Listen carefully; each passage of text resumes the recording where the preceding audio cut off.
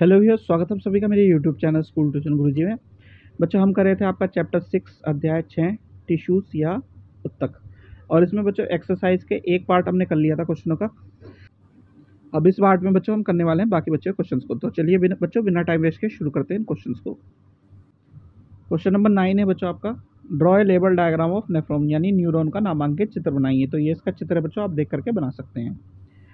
चलिए, अगला क्वेश्चन देखते हैं बच्चों। अगला क्वेश्चन नेम द फॉलोइंग यानी निम्नलिखित के नाम बताइए। पहला आपका बच्चों tissues that form the inner lining of mouth यानी उत्तक जो मुँह के अंदरूनी परत बनाते हैं स्क्वेमस एपिथीलियम ठीक है बच्चों? Tissues that connect muscle to bones in humans यानी उत्तकों जो मनुष्य में मांसपेशियों की हड्डियों को जोड़ते हैं तो ये कहलाते हैं टेंडन बच्चों। फिर है tissues that connect transport food in plant यानी उत्तक जो पौधों में भोजन का परिवहन करते हैं, ये कहलाते हैं बच्चों फ्लोएम आगे बढ़ते हैं बच्चों। अब क्या है? Tissues that stores fat in our body अब तक जो हमारे शरीर में वसा का भंडारण करते हैं।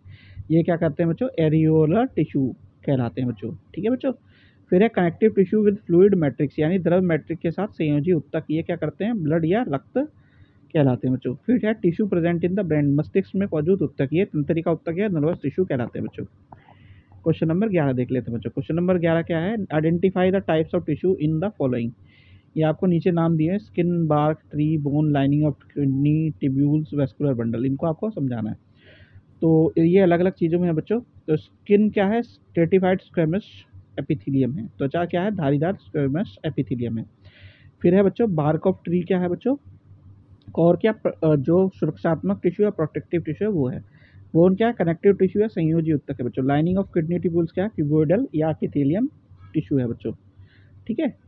और वेस्कुलर बंडल क्या है? कंटेनिंग टिश्यूज है, यानी बंडल संवाहक उत्तक है बच्चों क्वेश्चन नंबर बारह देख लेते हैं बच्चों क्वेश्चन नंबर बारह क्या कहता है? Name the region which parenchyma tissue is present यानी उच्च क्षेत्रों के नाम बताइए जहाँ पे पेरेंकाइमा उत्तक मिलता है। तो जो रूट्स और क्या है स्टेम्स है, वहाँ पे क्लोरोफिल होता है और क्लोरनकाइमा हमें ग्रीन लीव से मिलता है और जो एक्वेटिक प्लांट्स होते हैं पैरन कायमा वहाँ पे होता है लार्ज अमाउंट में एयर कैविटीज़ के रूप में ताकि वो फ्लोट कर सकें और सच इसी तरह के पैरन कायमा पैरन कायमा को हम एरन कायमा भी कह दे देते हैं बच्चों। चलिए क्वेश्चन नंबर थर्टीन देख लेते हैं। क्वेश्चन नंबर थर्टीन क्या है?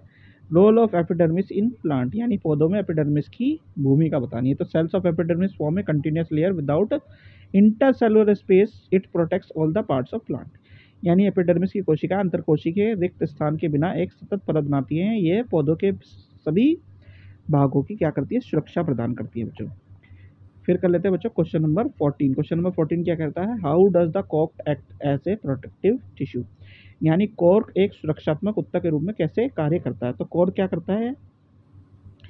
इसकी कोशिका क्योंकि मृत होती है बच्चों तो ये क्या करता है? अंतर कोशी के रिक्त स्थान को सघन और व्यवस्थित बना देता है। यानी इंटर जो सेलुलर स्पेस होता है, उसमें क्या करता है? अरेंज कर देता है और वो जो डिपोजिशन होता है, उसके दीवार में सवरिन जमा होता है, वो क्या करता है? जो गैस और पानी के प्रति अभेद हो जाता है। तो इससे क्या होगा? प्रोटेक्शन होगी किसकी? एक प्लांट की बच्चों। क्वेश्चन नंबर फिफ्टीन देख लेते हैं बच्चों। क्वेश्चन नंबर फिफ्टीन क्या है आपका? कंप्लीट द टेबल यानी तालिका को पूरा कीजिए। तो इसमें क्या करना है बच्चों? पेरेंट परमानेंट टिश्यू सिंपल और कॉम्प्लेक्स दिए हुए हैं और नीचे ब्लैंक्स दिए हैं। तो वो आपको पूरे करने हैं।